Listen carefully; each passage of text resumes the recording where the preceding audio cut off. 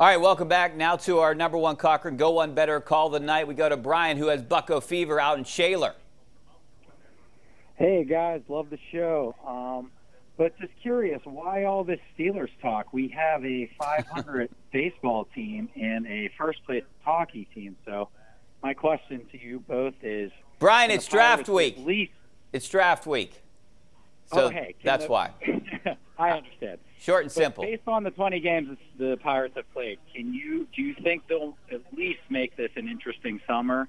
And once Malkin comes back for the Penguins, are they the favorite to win the cup at this point? I would say no and no to both, Chris.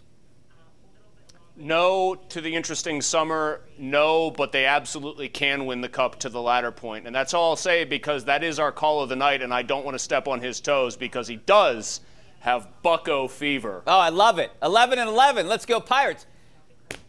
I don't know. I, I just don't see them being a contender in, in a few weeks. Maybe. Maybe I'm wrong. I was wrong about how bad they would be.